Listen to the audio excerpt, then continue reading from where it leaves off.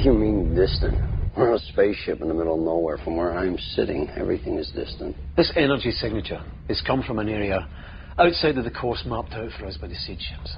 Now, getting there would take a bit of a detour. Now, how much of a detour? About a day's journey FTL. Do we have any guesses what it could be?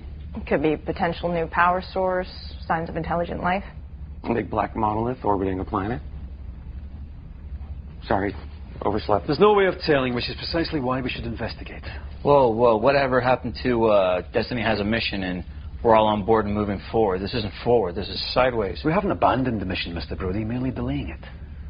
Uh, but Lisa's right. This energy signature could be indicative of intelligent life. Best case scenario, in my opinion. For real?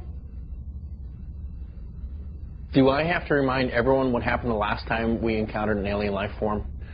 Or the time before that? Or the time before that? Yeah, but you can't judge a neighborhood by a bunch of bad neighbors. Are you kidding? That's exactly how you judge a neighborhood.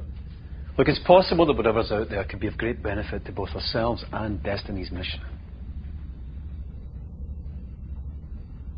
Okay, check it out.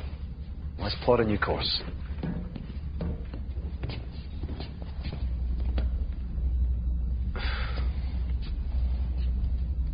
How do you do that?